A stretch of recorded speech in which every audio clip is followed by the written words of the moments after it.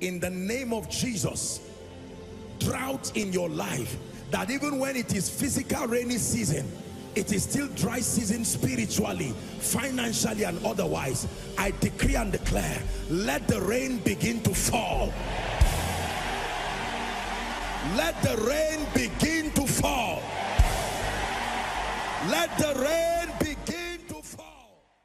you're welcome to another spirit-filled message on Christocentric message. If you're new to this channel, I would entreat you to hit on that subscribe button and then to like this video. As well, I would want you to share this message across because we believe that as this message is coming forth, it's going to bless you. Or graces are going to be imparted unto you and then God is going to visit your home. Thank you for watching. Stay blessed. Virtue is a measure of your closeness to the character of Christ. Let me tell you this, when you contend to sustain the character of the Christ, you become Beulah and Hephzibah. It becomes difficult to ignore you. The world is look what the world is looking for in men is what only Christ can give. The fruit of the spirit, your patience, joy, peace. This is what we seek for. You are valuable to the degree to which you walk in partnership with the Word of God and the Spirit of God to sustain the character traits that make you reflect Christ. Are we together? Now, you would think what I'm sharing is very cheap and very simple and very basic until you see what lack of the manifestation of the character of Christ can do to a man. Why do you lock your homes when you leave? Because there are people who don't have the fruit of the Spirit and you are aware of them. Are we together? Yes. Yes, sir. You came to church and yet you locked your car. Why? Because you are aware that there is an environment that may not exactly reflect your values. What makes heaven heaven because there is a system that judges rebellion immediately.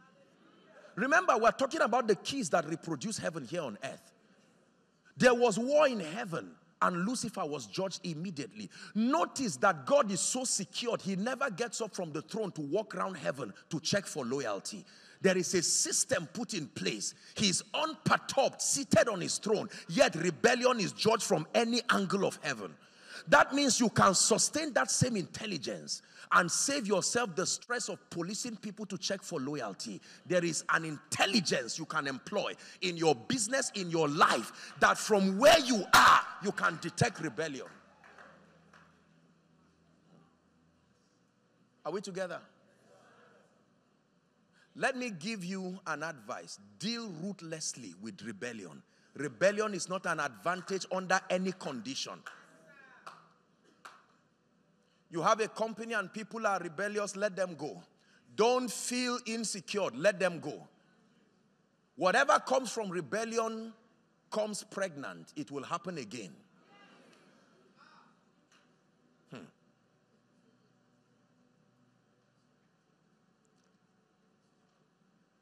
Are we together? Yes. So, your virtue, the character of the Christ, by this shall all men know that you are my disciples. Not when you speak in tongues, not when you pray, not when you sow seeds, when you have love. There is a dimension of love, agape, that is not given unto men. It's the Spirit of God that will shed that love abroad in your heart by the Holy Ghost. So when you sustain these character traits, how about being trustworthy? Imagine what you will do when you find someone you can trust genuinely and truthfully. Hallelujah.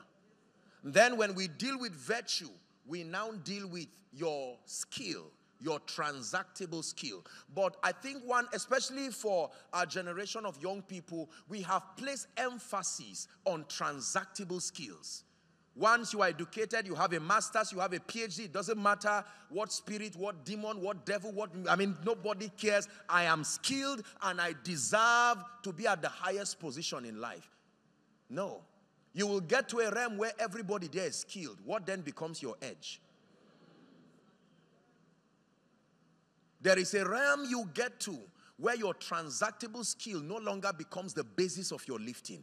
It is your closeness to the character of Christ. Even unbelievers are looking for Christ in everybody. Are we together? Let me tell you sincerely if by this conference you trust God for grace to rise to a position where there is an appreciable dimension of the character of Christ. He said, My little children, of whom I travail. Paul is speaking, until Christ be formed in you. He was talking to people who were already born again and filled with the Holy Spirit. The formation of Christ.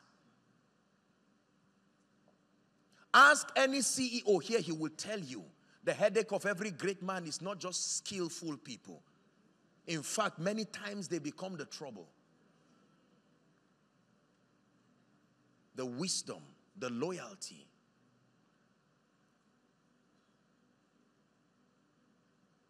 Are we blessed? But I tell you this you know you are valuable by who pursues you. If nobody is pursuing you, it's a report card that you are not valuable. All men seek for you. Listen, there are certain skills that when you have, only the rich will look for you. There are certain skills when you have, only the poor will look for you. There are certain skills when you have, only the educated will look for you. There are skills that when you have, only your tribesmen will look for you. But there are skills when you have, all men will look for you. All men will look for you. That was a testimony of Jesus. All men seek for thee. All men, all men, all nations, all territories seek for thee. Make up your mind that you will be valuable. The kingdom operates on a reward system. You know that. And it is, it is fraud to expect rewards when you are not valuable.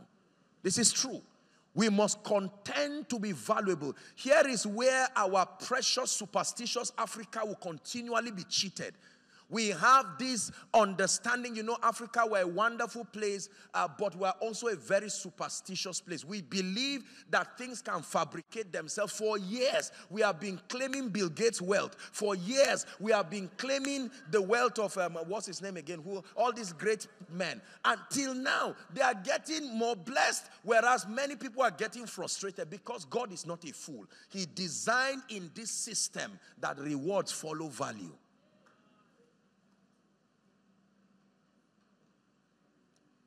Many people look at preachers and say, why these people are just blessed for doing nothing. Let me tell you why preachers are blessed once and for all, so that we'll just clear the air over this.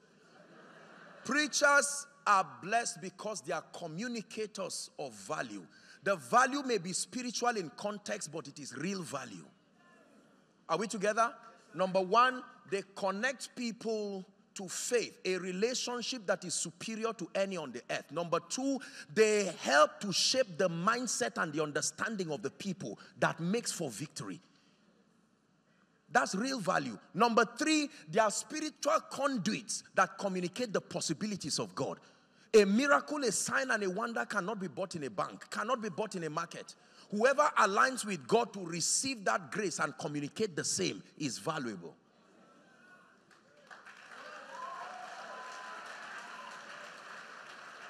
Are we together? Seest thou a man diligent in his business? The Bible gives you an assurance that you will stand before men, before kings, and you will not stand before mean men. Let me show you two scriptures very quickly and then we'll rush. I apologize, I would not take so much of the time. Uh, let's just work with what we have. Ready? Exodus chapter 4, please. Let's look at verse 2 and verse 17. Would you be a bit patient? Thank you. Exodus chapter 4. And the Lord said unto him, What is in your hand? And he said, What? Let's go to verse 17 for time's sake. It says, You shall take this. Listen, say in the name of Jesus, I obtain grace to be valuable. I obtain grace to be exceptional. Lagos is a good land, but the increase only looks for men of value.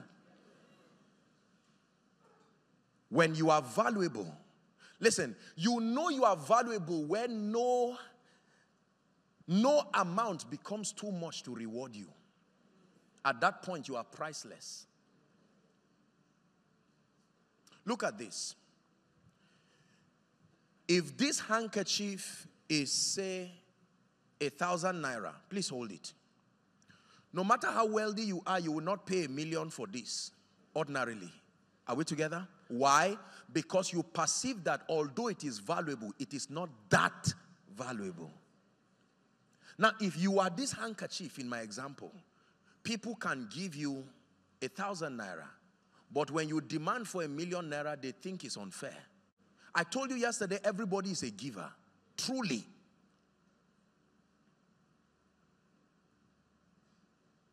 Can you rise to a level of value that makes no price becomes unfair, uh, that makes for no price to become unfair on you? That someone can look at you today and still give you a property worth millions and, and say, please, let it be a privilege for me to bless you because you are that valuable. I made up my mind as a person that in the name of the Lord, I would not just be a preacher, but I would be valuable. That I would never have encounter with anyone and then you say, oh, it's nice to meet you. Go away. No. No. It's a vow and a covenant that I made with myself. So it calls for study. It calls to expand your understanding. As a preacher, you talk to all kinds of people. If you're a medical doctor, the limit of your profession is just around the hospital and all of this. But as a man of God, you're talking with diplomats, you're talking with business people, you're talking with politicians. You must sustain the intelligence that communicates God to their sphere. It is not an impartation, it is knowledge that is acquired, it's truth that is bought. This is what will make you valuable. And I tell you the truth, Anybody, any preacher, anyone in ministry who is not ready to be valuable on this wise must be ready for empty pews.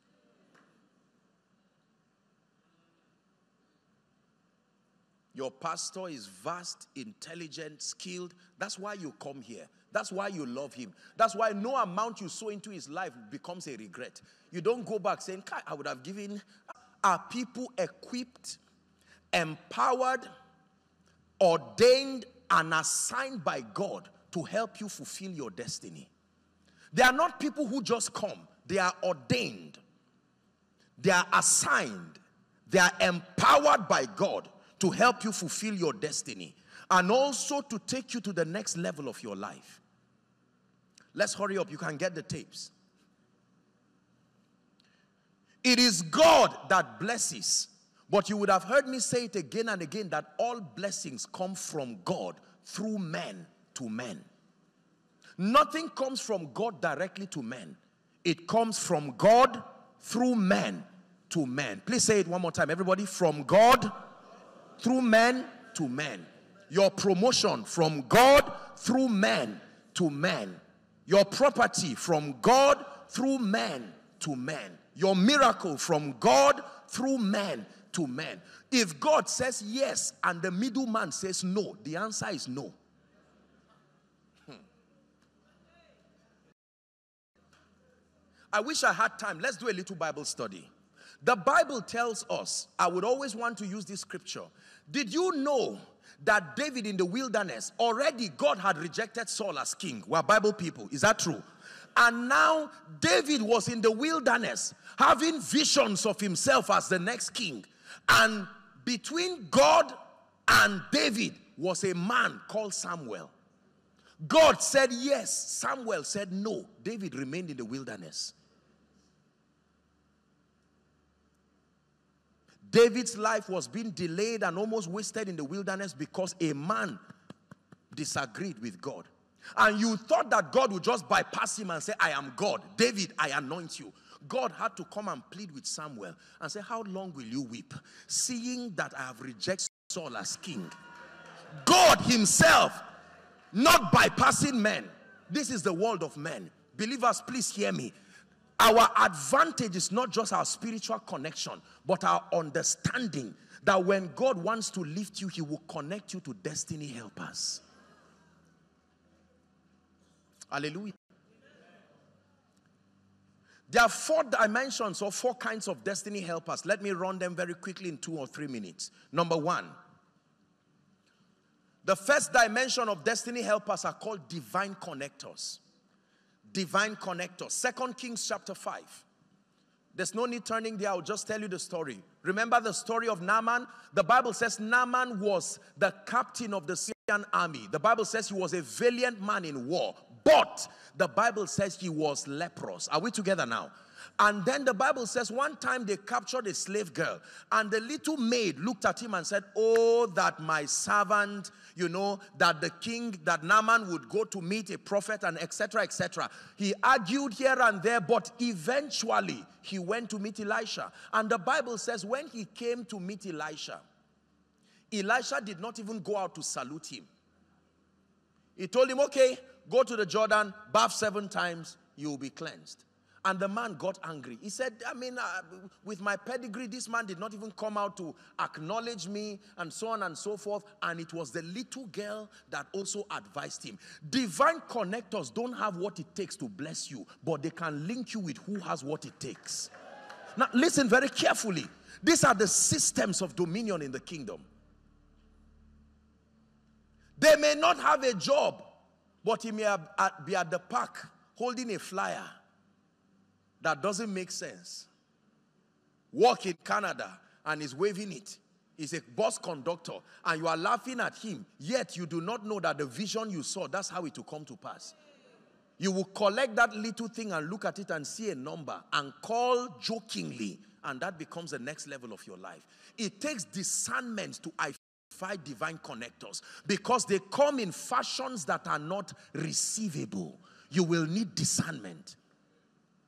A destiny connector can be your little child. He talks nonsense every day, except that that day the Spirit of the Lord is upon him. Mommy, why don't we pray in this house? And you think he's just talking as a little child. And it's in that prayer you have the vision that will become a great business. You need discernment, divine connectors. Many of us pass them every day on the streets of Lagos.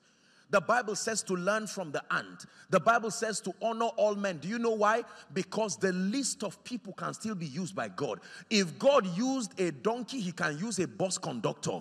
God can use the person plating you. And while they are gisting in the salon and you are listening, they will communicate one information that fills the gap you have been looking for. Sustain discernment, believers. Divine connectors. Number two, very quickly, the second category of destiny helpers are called men of influence. These are gatekeepers. They have what it takes to bless you. They have the resources, the track record, and the credibility. No man thrives just like that. There are times that you have the skill and the gift, but you do not have access to the gate. You will need someone who is already at the gate to recommend you. Their voices, their track record, their credibility can speak for you and they can lift you overnight. These are men who can endorse you. One speaking um, uh, over your life from them. There are people in Lagos, one signature can give you and your siblings a job. It's true. It's not an issue of a prayer point. The answer is with them, it is within their power. Sometimes believers say it doesn't matter. God is only you I seek. You are right, but you are wrong. You are very wrong. And and sometimes if you don't understand this, I tell you since listen, unbelievers know this. It's an advantage. They do not trivialize yes. men of influence. Men of influence. Men of influence. Many times we insult rich people, we insult blessed people, we, we neglect people's track records because we cannot see what happened. When they are in the cave of Adullam, you don't see it. You only see the manifestation. And you can see a blessed man and say, What is there? It was his father, not a rich man. If my father too was a rich man. And you see, the moment you dishonor men, you close the door for access. It's true. Isn't it amazing that in many territories it's foreigners that come and eat of the blessings in the land because the people there trivialize the nobles. I never see men of influence and pretend they are not there. I honor them vocally, unashamedly. I'm friends to politicians. I'm friends to men of, I'm friends with people in the military. I don't fight them. I don't curse them. They need me, but I need them. There's, there's nothing to lie about. We live in a wicked world. yes, sir. Are we together? The body of Jesus is hanging on the cross, Pastor. No prayer warrior could bring that body down. It took a man of influence called Joseph of Arimathea to bring the body down. Please do not reject influence. Joseph is dying with his dream in the prison. Pharaoh is there with one decree that can set him to be the prime minister of Egypt. But the middleman forgot. The middleman did what? Forgot. And then when God was ready to leave Joseph, he gave a dream that no astrologer could interpret. And when, can, can, look at this. Do you know that there are certain levels of influence if you don't rise to, God cannot use you in certain ways? Because showing you the vision is useless. You don't have the influence to do anything about it. Listen, there were covenant people in Egypt Yet God could not come and give them the dream of the famine coming because they didn't have the capacity to do anything about it. So he came to the Pharaoh himself. And when the Pharaoh had, if Pharaoh, if the Israelites were disturbed about the dream, would anything be done? But when the Pharaoh is disturbed, he can shake his government. And the king sent for Joseph and they brought him out of his dungeon. Not God sent for Joseph, the king sent for Joseph and they brought him out of his dungeon. Please understand this success system. It is a secret in the kingdom. This is what makes people to rise miraculously. One endorsement, please help this person, signed this and that. And the person looks at it and looks at you and say, whose son are you? You say, well, that's not the issue. Look, focus on what I brought.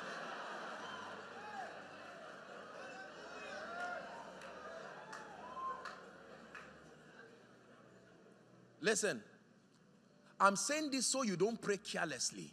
When you are praying, you don't just say, Help us of my destiny, come. It's not a very wise prayer. You know what and who to call. Lord, I need men of influence in this season of my life. I have the grace, I can be on air, the world can hear me, but there is no one to connect me. And God says, I know how to make it happen. Come for WAFBEC.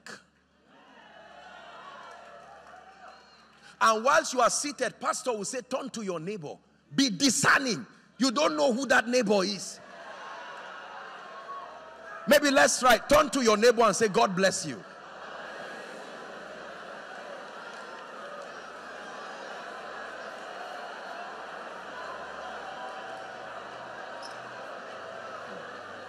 Hallelujah. Praise the Lord. Forgive me, my time is up. I have to rush. Now, watch this. Please just lend me a few more minutes to just tidy this up. Look up, please. Men of influence, you must pray them in your life. Especially if you know that your background does not have any advantage. You know what I'm talking about. You must pray. Pray with understanding. Lord, take me out of this place. Someone can like you and just say, I don't know, but something tells me to help you. When that happens after this conference, call pastor and say, Pastor, that's it. It happened. It happened. Hallelujah. There are many ways to pay for things. The cheapest is through relationships. There are seven kinds of currencies. Money is the least of them. If you pay for everything with money, you are poor. Relationship is currency. Show me the receipt of the things that were bought by relationship. It's not always about money.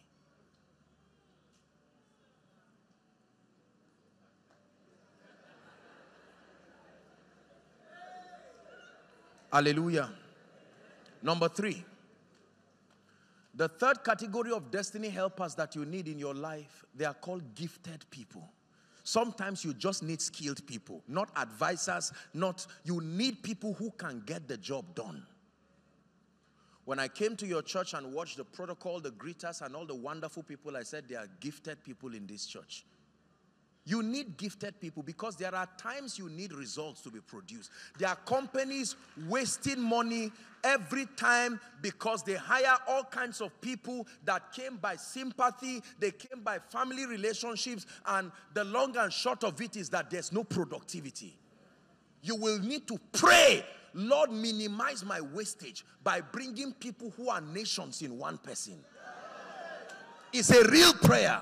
Let me tell you this the biggest companies in the world do not necessarily have a crowd of people, they have a few people with the brain of nations. And sometimes you just need to pray and say, Lord, make my life easy. Bring gifted people to my life. Bring gifted people to my life. Bring gifted people to my life. Are we together? Yes. You will need very gifted people. Please write this scripture down. First Samuel chapter 16 from verse 17 and 18. Just, just leave it there. Would, would, would not be able to turn there. First Samuel 16, 17 and 18. You need gifted people. I pray this as a leader. I pray this as a person. When you meet gifted people, Lord, send a gifted driver to drive me. It's a good prayer. You, you die for nothing because of someone's carelessness. Lord, send a gifted driver to drive the truck in my company. You don't buy a truck 100 million and somebody will capsize it in two weeks. Does it make sense what I'm saying? Send a gifted representative in my company, not someone who goes and kills every. He closes the doors that God, you prayed, you fasted, you sowed sees the doors open. He casually closed it back because he could not represent you well. It is great to find gifted people who love God and love you. Number four, the last category of destiny helpers. This one, you have to pray it all the days of your life. They are called burden bearers. Burden bearers. Hmm. Who are they? They are trusted, please listen, and faithful people who will stay with you through the storms. They will stay with you through challenges until your glory is revealed. Ruth chapter 1 and verse 16. The Bible tells us about um, a dear woman called Ruth. Remember the whole story? And Ruth said, Entreat me not to leave thee, nor to return from following after thee. For whither thou goest, I will go. And where thou lodgest, I will lodge. And thy people shall be my people, and your God shall be my God. Let's keep reading in our minds. Your pain will be my pain. Your tears will be my tears. Let me tell you something. And if you find 10 of these people in your life, you are the most fortunate person alive today. It's true. Let me repeat it. If you find 10 of these people in truth, you are the most fortunate person alive today. Burden bearers are an endangered species. In the presence of interest, everybody is a saint. In the presence of interest, everybody loves you. But when you carry the cross, when you feed 5,000 with two fish, with five loaves and two fish, why wouldn't you be king? But when you carry the cross, only John will stand there. Be careful when men say, Become our king. Because the same men will say, Crucify him. Let his blood be upon our head. Every great leader knows this. The applause of men is not necessarily a reflection of their loyalty. If you have not joined me to cry, I don't trust you. No, I don't trust you. If the only thing you have eaten is my food, I don't trust you. If the only thing you have done is clap for me, I don't trust you.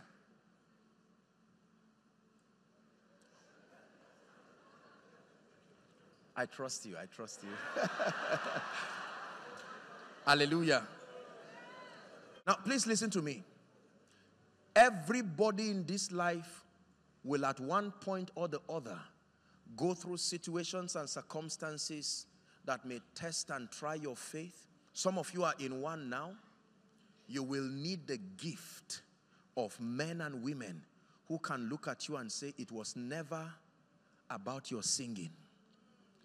And I pray for you, may that person be your spouse. Because if that person is not your spouse, listen, there are times that even Jesus weeps.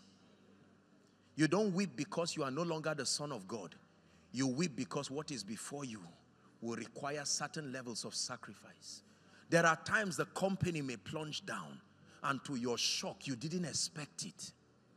There are times that you have things happen around your life. What happens at those times? You will need burden bearers. Let me tell you, these men will show up and stand with you and say, If you go to the prison, I'm there with you. Listen, Covenant Christian Center, don't just pray for burden bearers, be burden bearers.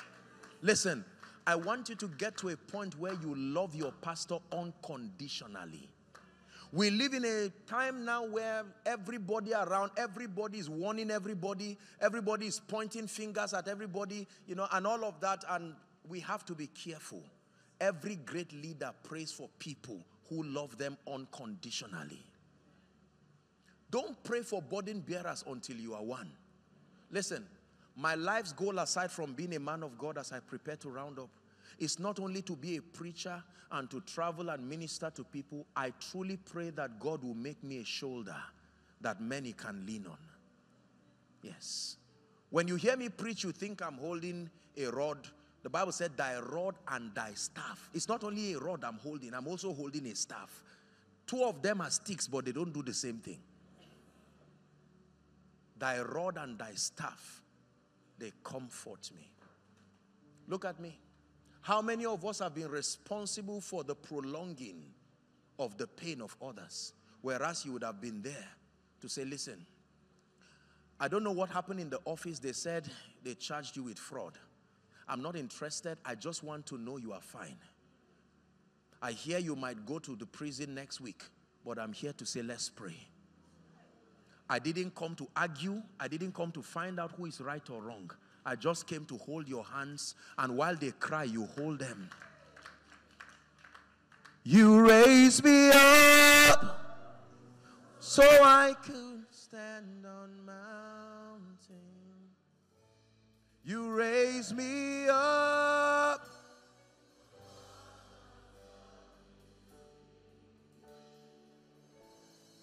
I am strong when I am on your shoulder.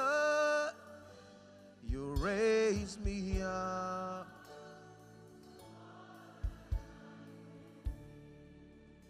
Listen to me. I'm rounding up. This is my final session with us. Listen to me, brothers and sisters. In this life, when you truly become a burden bearer, not just a destiny connector. I know we're all smiling here, but there are people who have been wounded through the years. And they are standing here right now saying, Oh God, can I not trust one person in my life? Can I not open up my heart to one person and just cry and know that I'm safe while I cry?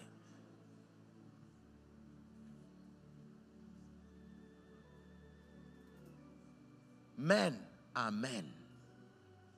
And sometimes what they need is not argument. What happened? Why are you in court over the land issue? That's not the issue. Everybody is saying it. Say something else. Ah, I'm disappointed. You are a Christian, you are a lawyer, you were involved with this politician, you are a member of Covenant Christian Center. No. You should be the first person to say, It's all right. Don't explain. I don't want an explanation. I came here to hug you. I came with my husband to your house to let you know that though weeping endures for the night, Imagine what it, listen, imagine the power. Imagine what happens to a person when you stand there to be the ones for them. If you cry, cry on me. Let your tears fall on my shirt as I hold you. Let us cry together. You just lost your child. Why were you that careless? Didn't you see it in the spirit? That's not the time to talk. Please, I apologize. Can you spare me just one minute? Let me just drop this and then we'll round up. Listen, our world is full of wicked people. Our world is full of heartless people. People will clap for you when you are on the throne. Sleep from the throne. Don't just fall. Just sleep from the throne. And they'll say, I always knew you were not my king. I'm a young man, but leadership has exposed me to a lot. I can tell you when you find people who love you unconditionally, swallow your pride and pursue them. You will not find many of that kind in your life. You may find a worker in your company, he may not be very intelligent, but he's the one who when they are chaining you and the news is picking it, he can stand there and say they should pick my face too. It is a token of my loyalty.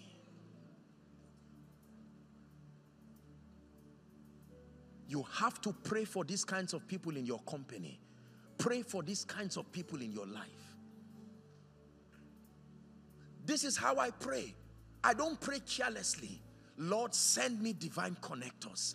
Send me men of influence. Send me gifted people. But in all your sending, send me burden bearers. Jesus is on his way to the cross and people are laughing at him. He's looking at those who ate his fish. He's looking at those who took this. Crucify him. And he said, Can you help? No, I will not help you. Crucify him. The blood coming from a 33 year old's body. And they said, I always knew. To the point that they said, release Barabbas. Although a criminal, we prefer Barabbas.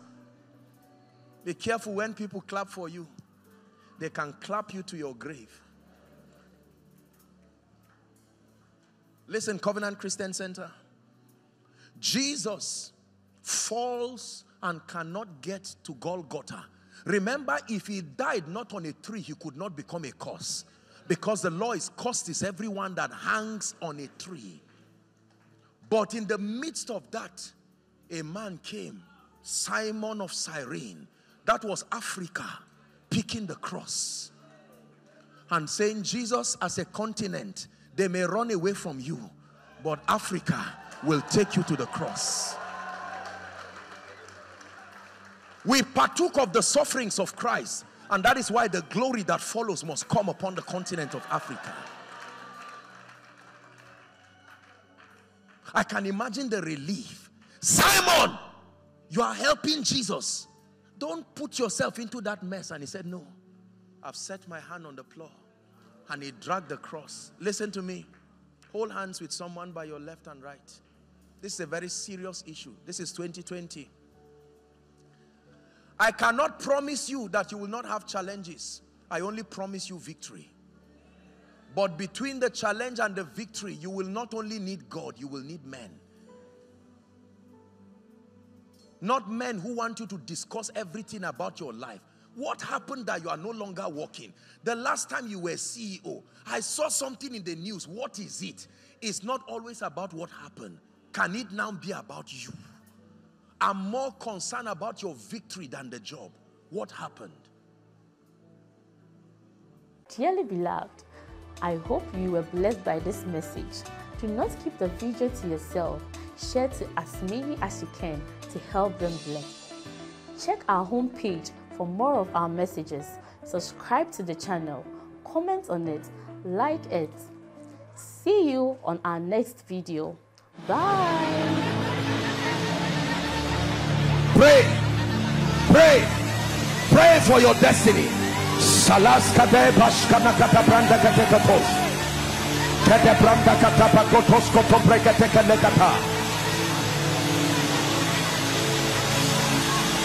the phase of development. Lord, grant me the discipline